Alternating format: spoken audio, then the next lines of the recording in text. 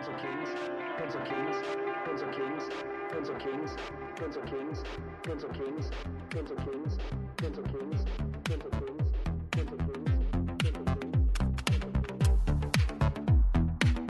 You're doing it because it's what you want to do, and you know you want to do it. And anything anybody else can say really doesn't matter to you.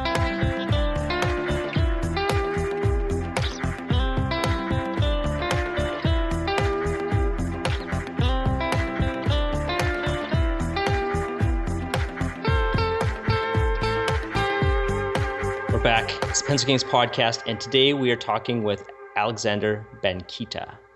Now, Alex is working on something very cool, and I think that you're going to like this because I know that there's a lot of people that want to tell their own stories, uh, but you're stuck, or there's like a roadblock ahead of you. And I think by the end of this episode, you're going to realize that those roadblocks that you think are stopping you from moving forward, they don't actually exist. Like period. Like they don't you don't even need to worry about them at all. But we'll we'll get into that in a second. So Alex, to start off, why don't you give us a one minute overview of who you are and what you're doing uh, before we dive into your story? Sure. So um, what I'm basically doing is I run a comic book company called Fright Comics, and essentially what I was I act primarily as a writer and a creator, and just kind of involved with all the production of comic books that I create. But I am an artist. It's just that I'm so busy with you know working and other things in my life that I don't have the time to draw full comic books. So I just write comic books and have other people draw them for me. And that's pretty much it. Okay, well, and that's exactly what I think is so awesome. So we'll just start off right here because there's a lot of people who think that they you know they need to do all the steps. They need to be the best artist. They need to be the best writer. They need to be the best colorist. They need to know all the different tools. They need to know how to do typesetting or uh, any number of millions of other things that might be on their mind. But uh, what i really like what you're doing is that you're you're the creator Mm-hmm. And I think that's an important distinction.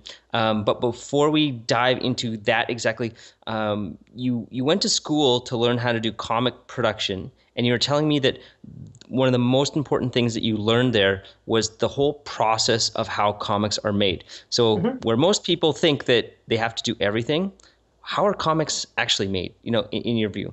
Um, yeah, so I did. I went to uh, school of visual arts for cartooning, and basically, you know, you'll start. You'll have. I was fortunate enough to have teachers that were comic book professionals, and you start to really understand how the industry works.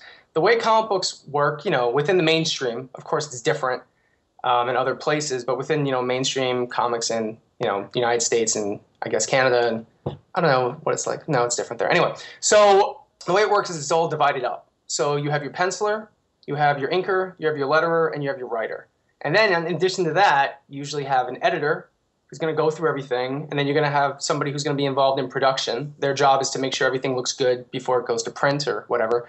And then you're going to have you know people who are involved in the publishing aspect um, but that's more of the business side of comics. But primarily, the way a comic book is made is you have a team usually of a writer, an artist, an inker, and a letterer. Now, you can certainly do all those things by yourself, but you know the reason why it developed the way it did is because it increases production speed and people start to get specialized in certain fields and they tend to get very good at them. So to the point where, you know, for example, if you're an inker and you're always inking constantly. And now, to be fair, most inkers can draw pretty well. Um, but if you're always inking all the time, you're going to develop skills with your hands alone that other people simply cannot do.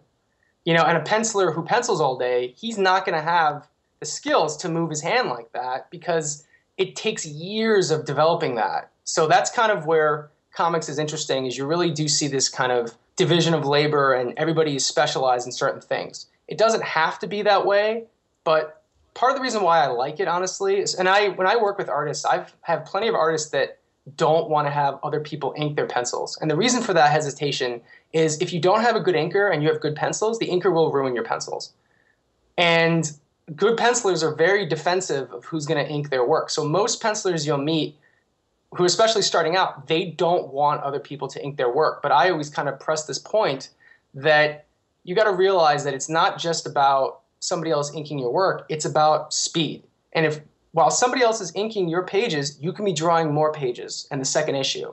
The most important thing is to get the comic out. It's not for you to ink it. It's it's for it to get done, and you should specialize in this area because that's your strength right now, and that's that's kind of part of it too. So, first of all, thanks for the breakdown of all that. And I think it's important to. There's so many things that I know I've tried to do in life. You know, start a video game studio, mm-hmm. make my own comics. You know, I did a comic strip for a while for a newspaper. Nice. Um, but I've always been the do everything yourself variety yeah. and just basically smash my head through brick walls. Mm-hmm uh, a lot of pain, but I get a lot of experience doing it that way. Yep. And I think it's important to that when you have access to somebody, or just when you know that there's the thing that you want to do, and you go and you talk to a few people and say like, "How is this really made? Like, here's the thing that I want to do. How would I actually go about it?" And I think that for a lot of people that I've talked with inside the Pencil Kings community, they just want to tell their stories, and so I feel that they're they want to tell stories, but now they're inside Pencil Kings developing their art skills, which is mm-hmm. great. But I sort of feel like they might just be better writing and then trying to find people who are their skills are already there and then working with them together to actually create something. But I'm not sure how realistic that is because I'm not, you know, I haven't gone down that path. So I, I want to hear about how you came about like assembling the team to for building your comics because this is I think there's a lot that we can learn from from how you've been going about this. Sure, um, that's the hardest part. everybody, not everybody. I'm exaggerating, but you'll often meet people who have ideas and they'll go, "Oh, this is really neat," or "I want to do X," or "I want to do Y or Z," and they'll just go up to somebody who's a good artist and go, oh, "I'm going to sell you on my idea," and then you're going to draw it. But then you have to look at it from the artist's point of view. You think they don't have ideas they want to work on? You know, it, it's you have to figure out a way to exactly the I think really what's important is number one. This is going to sound really obvious. You have to be willing to pay people, um, and you have to understand it from a business point of view. I think there's kind of this confusion or misunderstanding of the way a lot of creative people, especially people who want to be writers, look at artists. They look at artists as kind of um, like a tool for what they want to do and what they think. And that's okay if you really want to do that, but you got to understand that costs money you know, if you want to go up to an artist and say, "Hey, I got this idea and I want to do X, Y, and Z," if you're not willing to pay them, or you're not willing to pay them a decent amount, they're not going to do it, and that's really realistic. And then in addition to that, and this is a big, big problem in the comic book industry, is it's very common for people to come up with ideas and not fully understand where you know all the work that's involved in producing something and how much it costs and everything that's involved. They just are kind of having fun. And as a result of this, a lot of artists get burned by writers who are just kind of enthusiastic, you know, hobbyists or whatever term you want to use. They just want to make comics, but then they don't look at it from a business perspective and they tend to, you know, not pay artists or they mistreat them or they make the artists have to do all this work that's way too much.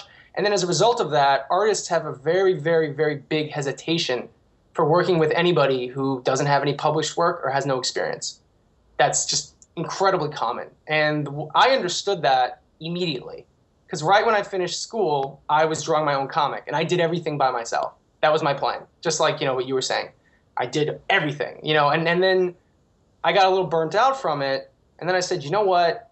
I got to really prioritize on, I got to work on other things. And, you know, I'm definitely going to continue to draw comics, but it's not a bad idea for me to hire somebody else to also draw other ideas I have while I'm drawing this comic. And that was kind of how I started it. And then from there, it got to a point where I found myself going, I really don't have the time to produce this at a speed that can really get things done. So I'm going to, you know, focus more on, on the writing side of this right now. And on the side, continue to develop my art skills until I feel I'm at a point where I can draw at a speed that's acceptable, you know, and do what I have to do. And in addition to that, you know, if you're drawing a comic, and then in addition to that, you're working, and then in addition to that, you're writing and producing comics, it's very stressful. So, you know, at one point, something has to give. And, you know, and I think it's important to never, you know, if you're an artist and, you know, that's what you want to do, don't stop doing it. I draw every single day, you know, but realize that that seven or eight hours you have on your free day that you want to draw for seven or eight hours, you have to devote a certain amount of that time to the comic books you're creating on the side or the comic books you're writing and producing. And that's important. But the first thing you have to do is you have to make it very, very clear to anybody who's willing to work with you you are going to pay them, you're not playing around, you are very serious about what you're doing, and you are going to see it through. That's so important. If you can't do that, nobody's going to take a chance on you unless they're incredibly desperate.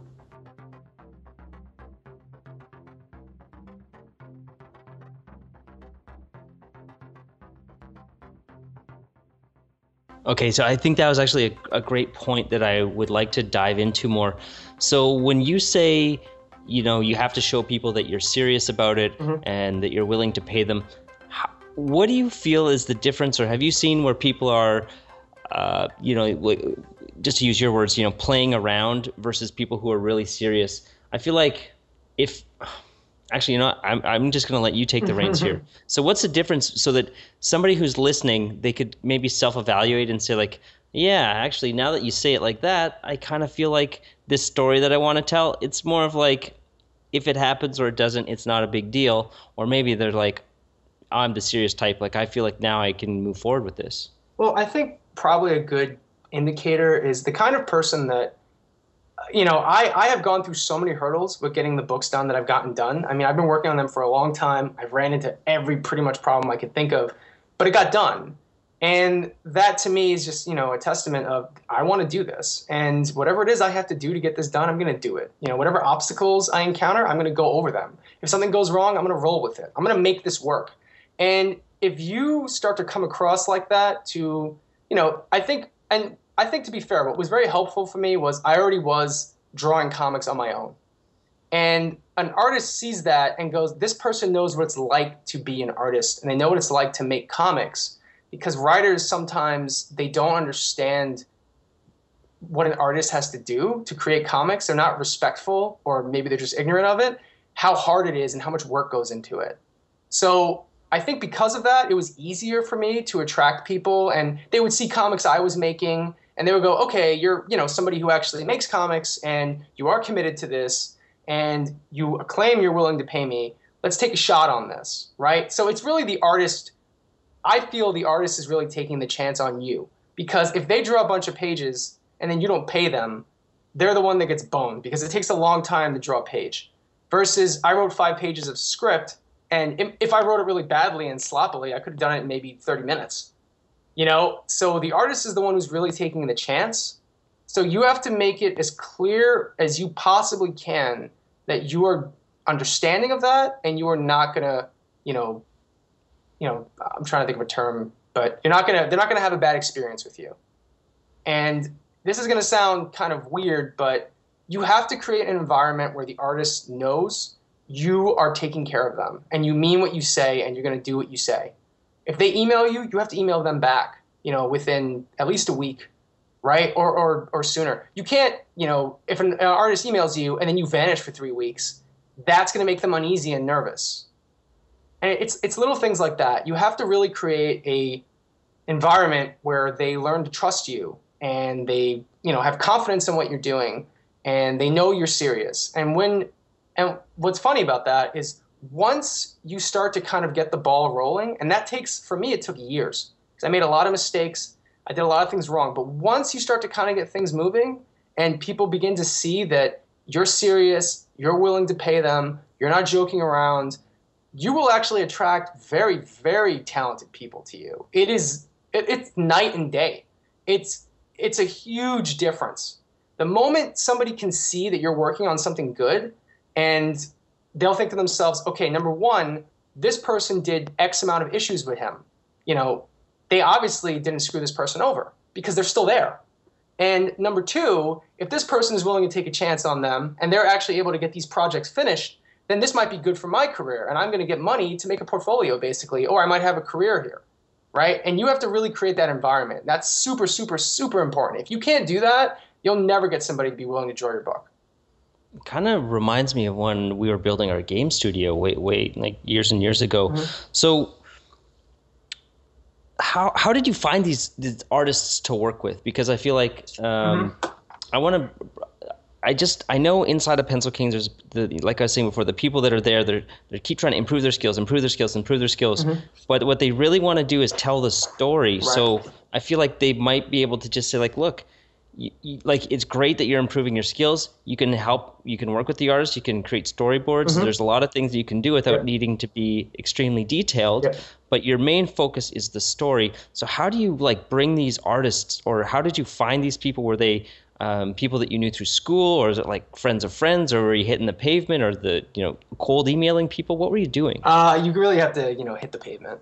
Uh, you got to use the internet um, you know, there's plenty of forums you could scour for people. There are people out there who are looking for work, and you can put out ads saying, "Hey, I'm putting out this book. I need somebody to work with me." Blah blah blah blah blah. Now, what I would definitely, definitely suggest people do is if you're looking for somebody to work on a book with you, pay them. Don't don't do the thing. A lot of people do this, and this is usually a red flag that somebody isn't that serious they'll say, well, you could own half of the intellectual property rights, or you could own a certain percentage of what this comic's going to be worth. Okay, but that that implies that this thing is number one going to get finished, and number two, it's actually going to come out, and number three, when it does come out, you're going to put enough money and marketing and energy into it that it's ever going to become successful at all. So if you don't tell people, I'm going to pay you you know, they usually see that as an indicator that you're not that serious. If you're not willing to kind of put up your own money, then you're probably not that serious about what you're doing. And what kind of price range do you look at for like starting a comic uh, book? Uh, I, because obviously, if you're if you're a, a I guess like an established IP, you're drawing for Spider-Man. Right. I'm guessing that the rates are oh, different rates are than when high. you're somebody s- starting out or it's like something new. I think people can appreciate that, like that somebody's serious, uh, and that I, I, and I actually feel like that's how some of the instructors come to Pencil Kings. Like they realize what we're trying to do. We're right. trying to spread the, the love of art and this knowledge. Uh, we don't have ginormous budgets, uh, and but they're still willing to work with us, and we and we pay everybody. Um, but it's a it's a very like good arrangement. But just like a ballpark range for somebody, let's say like for me, I have a story I want to tell. I know I'm serious. I'm starting to understand all the steps that need to happen in the production. But now I'm I'm stuck with artists, but. Uh, I, I, so I start to approach people. What are kind of the numbers that they would throw out to do a book that would that would kind of seem realistic? a few years ago, I would throw out probably a lower number, but I'm kind of learning now. If you can start floating into the triple digits per page, you're going to be way better off. Because what'll happen is, and this is super common, you'll run into artists who will agree to work for, you know, essentially peanuts, nothing. And you'll think to yourself, oh, great, so I can get this whole book drawn for X amount of money. But that's not true because what'll happen is halfway through the project, they'll quit because the money's not good. And they were just desperate for money at the time, or they were desperate for exposure, and they agreed to it. So my advice would be if you're not willing to pay triple digits per page, you're probably going to have to be dealing with a lot of BS. And if that's the case, you're going to have to do other things to offset the low rate. And in addition to that, my advice would be don't pay somebody until they're done. But now you're going to run into a problem because they're going to say, well, how do I know you're going to pay me? right? So what a lot of artists like to do, and I feel like when you're starting out, you're dealing with people who are like really eager and they're desperate to get you know paid for art, and they'll work for they'll work I'll work for dollar a page, you know, they work for nothing, and quickly they begin to realize it's not worth their time. But mm-hmm. they'll never. This is a weird thing. You're gonna have to. I don't know why. It's just something people have to learn if they're going to deal with artists, or I don't know why. It's way more common in the art community, in the comic book making community anyway people have to realize that whatever an artist tells you is probably not true and they're not being sincere about what they actually want. So, you know, I've had artists in the past agree to work for a certain amount of money and then, you know, halfway through the project, they'll ask for more all of a sudden. And I'll just say, well, I can't, you know, this is the price we agreed on. This is how much money I put aside for this. I can't turn around and start paying you more. And then they'll either walk or they'll start producing incredibly slow they'll be producing a page a month or a page every three months, you know, because uh, they're doing other things on the side now because they need money. So you, as a writer and producer, have to cut through that and be clear. You know, what is it you need? And a good artist will usually be straight with you. Somebody who has been getting paying work is going to be straight with you. They'll say, This is how much I want to be paid. An artist who is starting out will not. And you need to kind of ignore that or call them out on it. and say, okay, well, if this is the amount you're willing to work for, it's going to be this much in the end, and you're going to have to produce it at this speed. And if you can't do that and keep it at a certain quality level, I'm not going to pay you. And see how they react.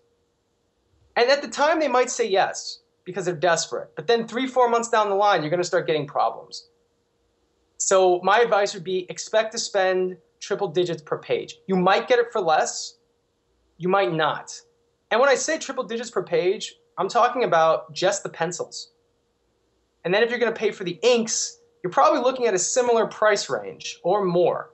No, that's not true. About so it's a, usually pay the inker less than the penciler, but both combined pencils and inks, you're definitely passing triple digits if you actually want the project to get done quickly and efficiently and by somebody who's a professional. You're going to definitely run into people who will tell you things, you know, I'll do pencils and inks for $30 a page.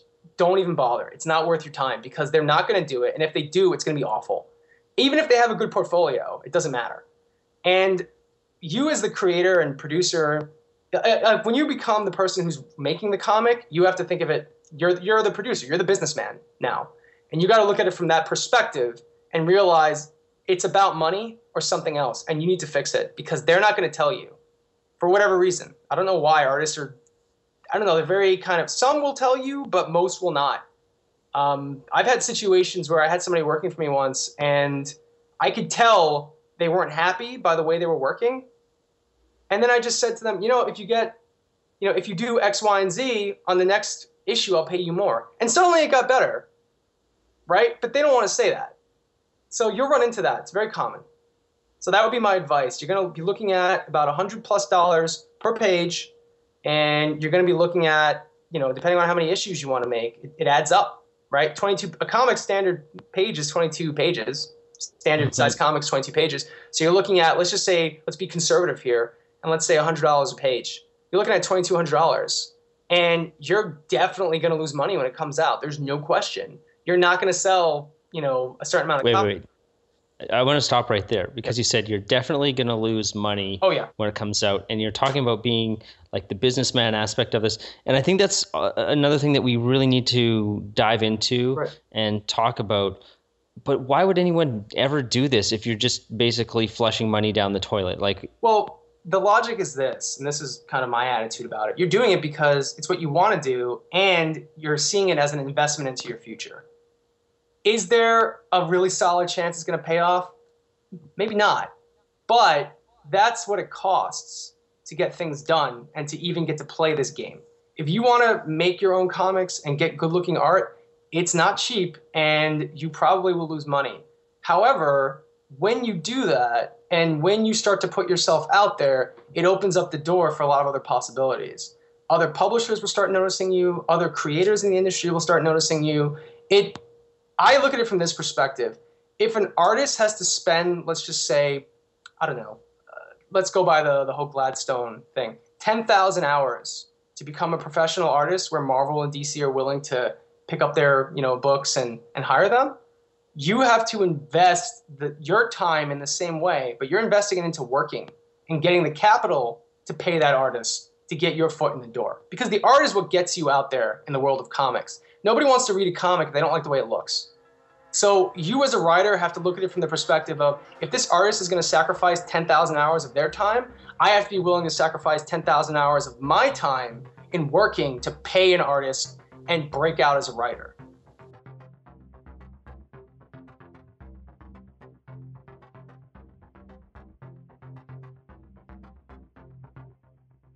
Ah, okay. So I see. Uh, now I'm really starting to understand. So you have to pay the money to produce the product. Yeah. And when you produce the product, your name is on it as writer, as creator, right. as editor, as like whatever you want to do. Right. And because of that, it's you know, it could turn into something big. Mm-hmm. It it could be nothing. But but it's like a finished product that you created and you put your name on. You're like this. This is me. I did this. Yeah. I made this happen. I brought this into into the world yeah. and that's something that you can show people uh, you go to a comic convention you can mm-hmm. show that to the biggest uh, publishers yeah. and you, you just don't know where what kind of opportunities are going to come out of that but i can say from my own experience that people do see you putting in the work. They do see like, wow, this guy is really serious. And I think it goes back to what you talked about in the beginning. And now I'm having the light bulb moment, and it's all starting to make sense. Um, and it's one of those things that I think that it seems really risky. You know, like the, what Oh, you're doing. my parents would they would hate on me al- always. They would just be like, "Don't do that. Stop. Stop it. Stop wasting your money. Stop doing this." Because they don't they don't understand that what you're doing. It's not like it's like you're playing this amazing game where you don't know what the outcome is. Right. When you go and sign up for the cubicle, you know what the outcome is. You get your 401k, you yada yada yada, you advance, maybe you get laid off, you go to a similar company, whatever. But you're on the creative's path, and I think that you know I salute you for for what you're doing. Um, it, it's just weird because I just intuitively think of it like that. I don't, I don't think to myself, you know, oh, well, look at this money I may be losing, or look at this. I just think to myself, that's what it costs.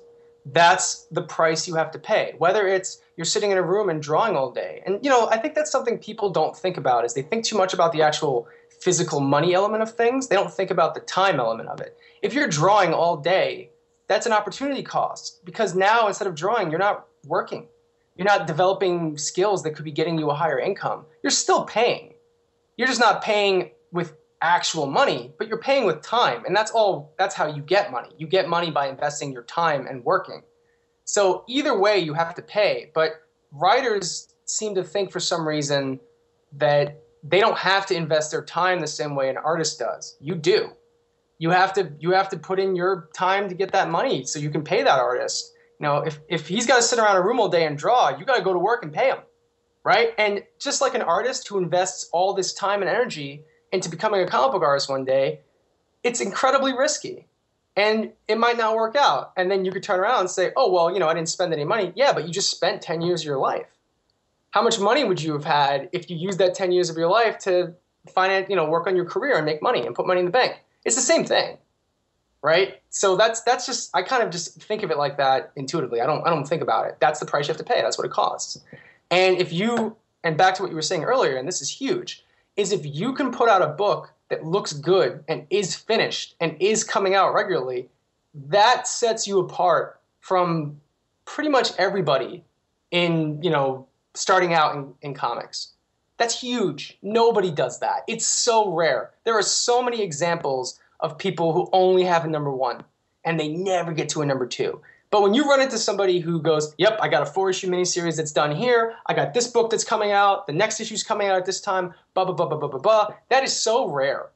And what's funny about it is when you start coming across like that, which is what I've experienced in my own, you know, kind of path, you know, career path or whatever you want to call it, my road in this, you know, my journey, if you will. There we go. Some word I'm trying to find. What I found is that once I started going, I started, I go to conventions constantly. Once people started really seeing me, and they always saw that every time I saw them again, you know, professionals, I was talking to anybody, I had more work and I had more stuff, and I had it kept going and it kept going. There was a whole other, you know, it brings you to a whole new level, and people see that and they gravitate towards that.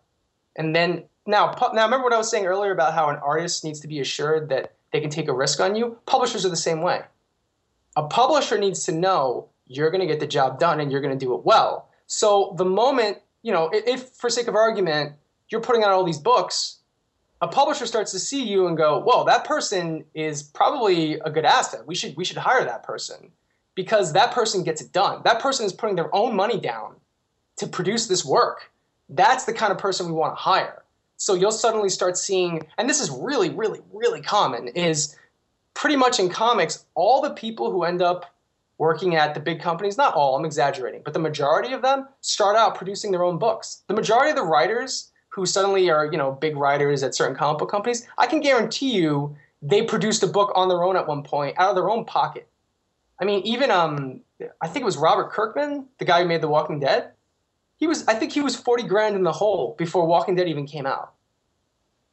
And then it did and now you know he's a big thing now granted that's not going to happen to everybody but the point is is that's just what you have to do to get ahead if you want to go the writer creator route that's that's what you have to do and when you can start doing it and doing it well you will totally stand out from all the people who aren't serious and aren't willing to it, I almost want to use the word sacrifice, but I don't consider it to be a sacrifice because you're doing it for your for what you want.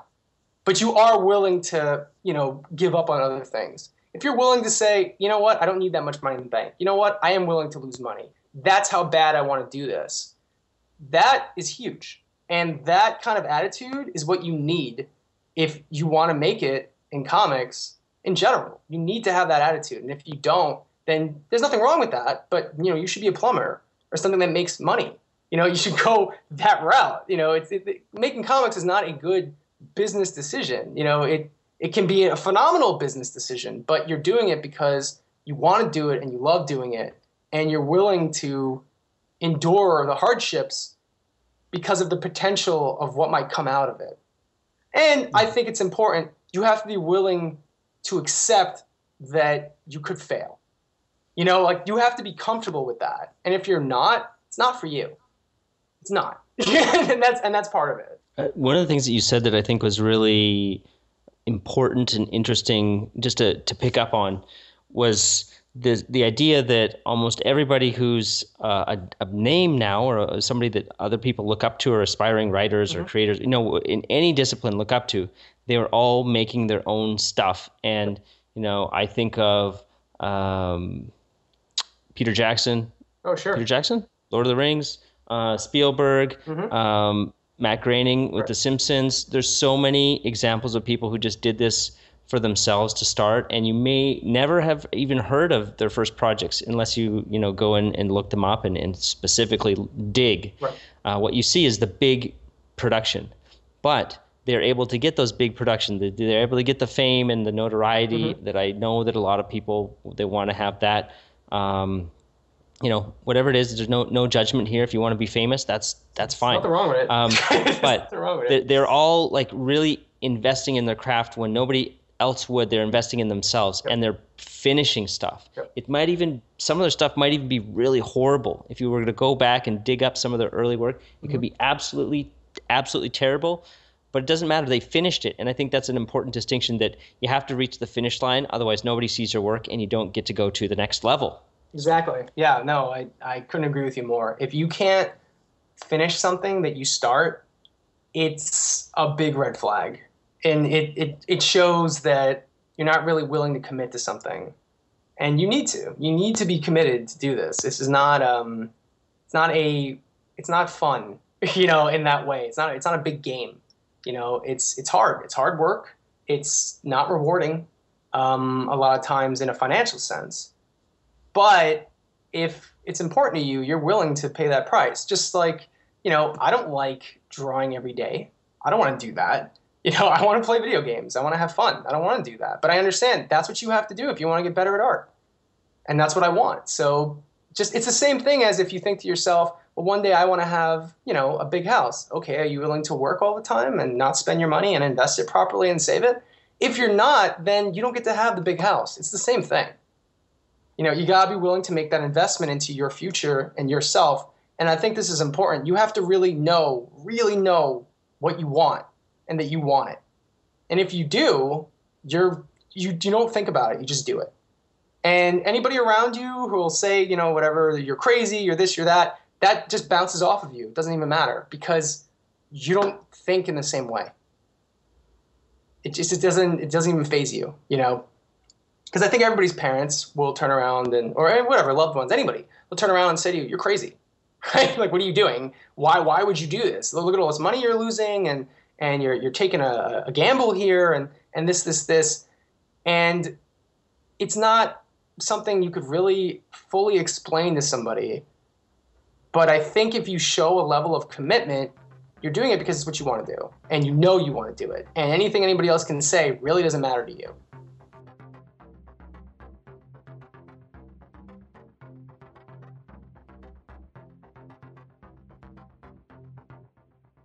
Yeah, it's it's one of those things that once you have proven it and you've gotten to you know a few levels higher mm-hmm. then those people who they weren't sure like they just have your best they, they just don't want to see you hurt right? right so that's why they give you that advice but once you start to show them like how serious you are how dedicated then they start to become your you know your huge supporters um, so we, we need to wrap up here soon. But before we do, I definitely want to talk about your books that you have coming out so that people can go and check them out because I was really impressed when I saw them. Yeah. Um, Thank I, you. I, did, I wasn't. I, you said you were going to send me some some issues, and I really wasn't sure what was going to hit my inbox. Um, but Oh, I I- was I- I just blown away. Oh, okay. Yeah. I thought you didn't Yeah, it for a second. when you, no, no. When you when you first said that you were sending it, I wasn't sure, you know, like what the comic book would be like or anything. But I was just blown away. And so, why don't you tell people a, a little bit about um, each book? And it should be available by the time this podcast is released, so people can go and check it out. So we want definitely want to let them know where they can go and check it out as well. Sure. So uh, I'm putting out two books for, you know, I'm launching them in the middle of August. So I guess this podcast will come up in September. So the two books I'm putting out is I'm putting out a superhero comedy book I actually made with a buddy of mine called Champions of Earth. And I'm putting out, I'd call it more of a dark fantasy book called Captives. So, and what's funny about these two books is they couldn't be more different. So, Champions of Earth actually was the first time I really sat down and got somebody else to work on my stuff, and I was very inexperienced and I didn't know what I was doing. And Champions of Earth was kind of a big learning step, you know, kind of a learning process for me. And I had a partner on it too, and that's really tough because not everybody is on the same page as you. While I felt like I was way more into this than my partner was, I was the one that got it done ultimately. You know, like it was I was the one that really pushed it through the finish line. I said this has to get done. You know, that was really what I wanted. But what Champions of Earth is about is it's kind of a funny take on the superhero genre. So what it is is that these the main characters are these two teenagers called the Scarab and Jupiter Man, and they they call themselves the champions of Earth. They're these superheroes, but they're pop star superheroes. They're very popular. You know, they're on TV. They say just the right things everybody wants to hear. But it turns out they're actually liars. And as the story progresses, you realize they're full of it, and they're just saying whatever they have to say to get successful. And on the other and in addition to that, there are two other kind of legendary superheroes that were thrown in jail for crimes they committed. So now the story becomes about, you know, these superheroes that got thrown in jail, they kind of want to get revenge or, you know, they want the situation's got to be resolved by them ultimately. And the main characters are pretty unlikable and they don't have any kind of good characteristics. You know, at best, they're entertaining and innocent. And they have, you know, and that's what the story's about. So it's, it's kind of a funny take on the whole superhero idea. And then Captives is about um, essentially what happens is it's kind of a it's a hard way to explain. It's a mythology story where basically this these two young boys they find out about this legend of this monster, and there's this princess stuck inside this this castle. And if you kill this monster, then the princess will marry you. But it turns out that that princess has been there for hundreds of years. Everyone who goes inside this castle dies, and no one ever succeeds. So the two young boys, you know, one of the boys goes, "Well, I want to, you know, I want to save this princess and I want to marry her." And the other boy says, "No, no, no, that's a, you know, that's no." The of the boys in agreement. I'm sorry. And then the father who's telling him the story says, "No, you can't do that. That's horrible. I don't want this to happen to you. Right? You're gonna die." And then as the boy grows up, he decides that's exactly what he's gonna do, and he's completely obsessed. And then he encounters other warriors who are there for the same reasons. And this happens every year. And then the story follows this you know boy's journey as he grows into a man. Well, he grows into a man. It follows his journey going inside this labyrinth, and then his brother tries to stop him, but he gets dragged inside too. And then that's what the story's about. And the thing that's interesting about this labyrinth is that nobody really fully knows anything about it because no one has ever survived. No one's ever come out. So there's a lot of kind of hearsay and, and there's speculation and there's actually one character who through various forms of alchemy is able to kind of see into the labyrinth.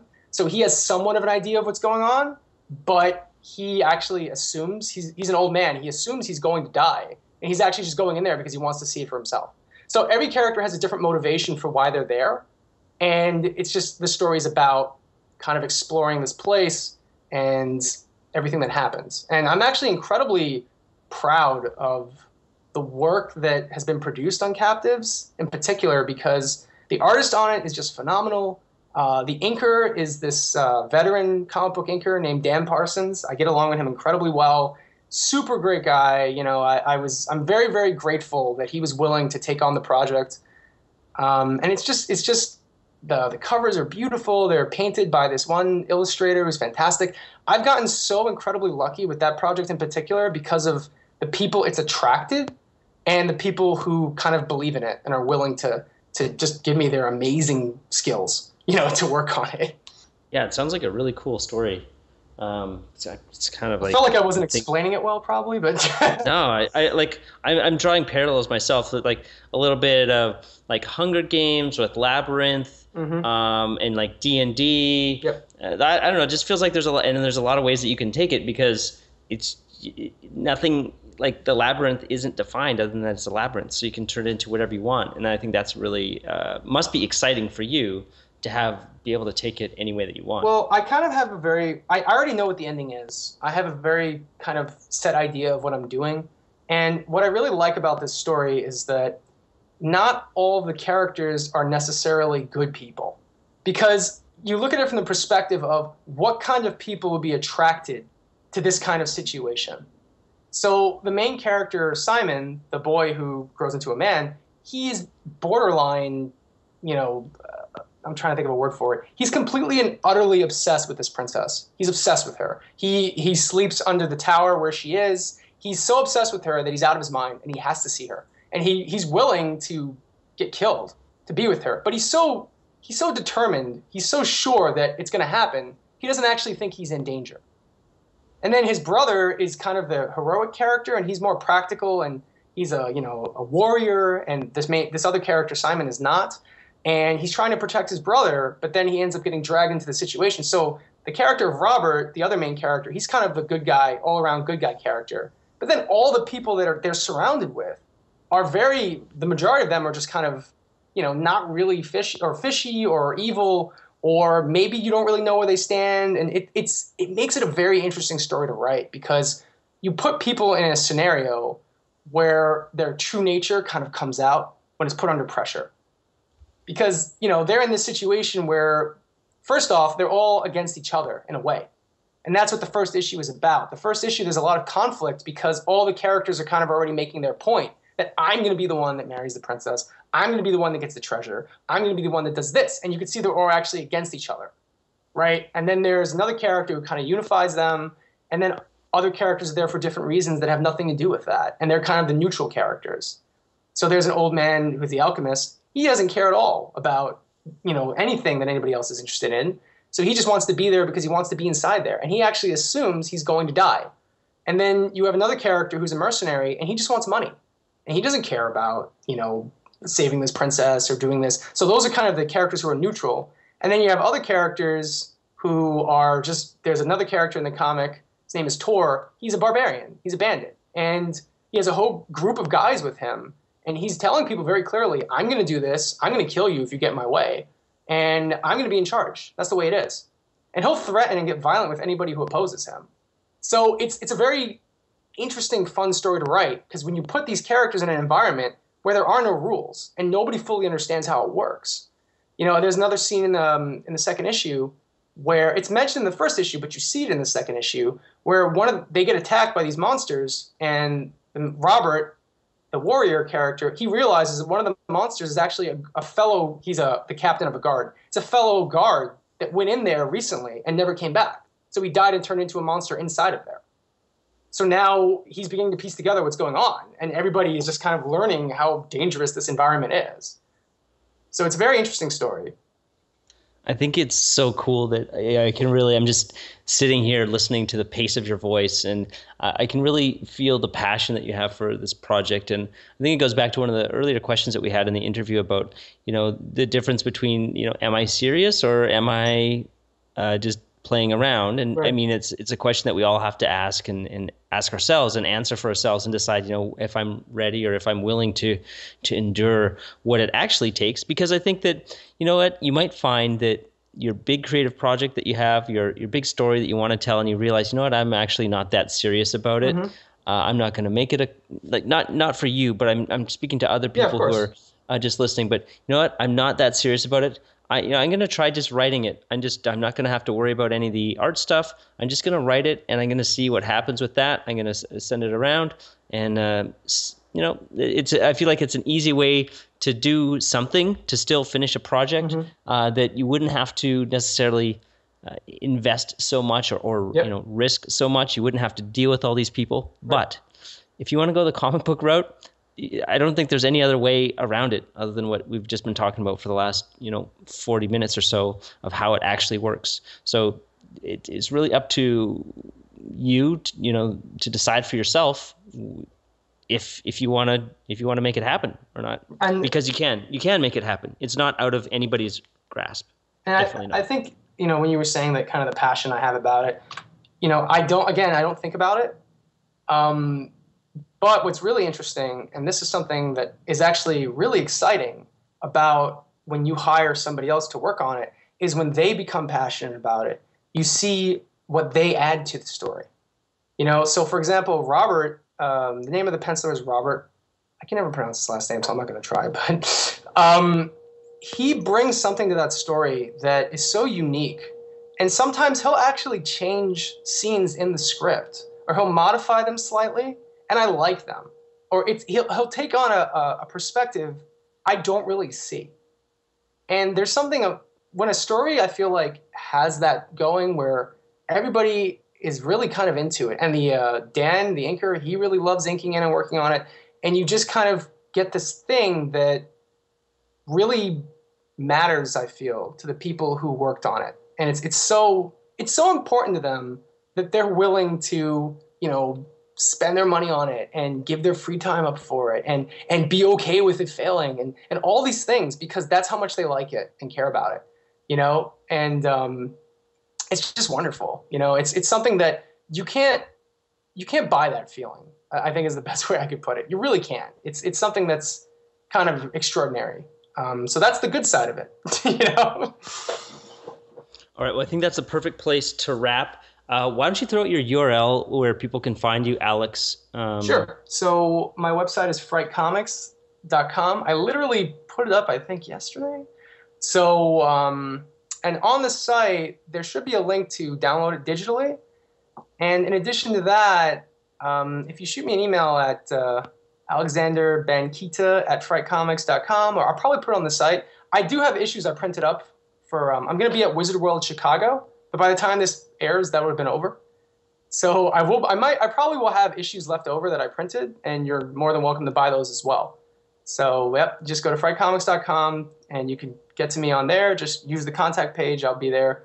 And in addition to that, I do have Facebook, but I really haven't started the social media thing yet. But I probably will. So, but yeah, just for now, frightcomics.com. That'd be the best way to kind of find my stuff, and you can get in touch with me through there. Awesome. And as usual, we'll have show notes from this over at pencilkings.com slash podcast. If you're looking for more interviews, we've got a ton there. We're over 100 now. So little, uh, you know, hat tip to us that we're, we're, we're keeping at it. And uh, thank you so much, Alex, for hopping on the podcast and really educating me. And I think for a lot of people about what it takes to to go down the comics route because it's something that so many people want to do and I, I feel like there's so many uh, beliefs the big one being that you need to be the guy that does or the girl that does uh, absolutely everything and Right. it's just that's not the way that the world actually works it, it can work that way but you know most of the time that's not and everybody has their specific job so you just have to figure out where you fit in in that and then uh, you know follow your passion Yep. so thank you so much demands patience, skill, years of practice. Ah, you talk like a fool. Trade a century of practice for an ounce of inspiration.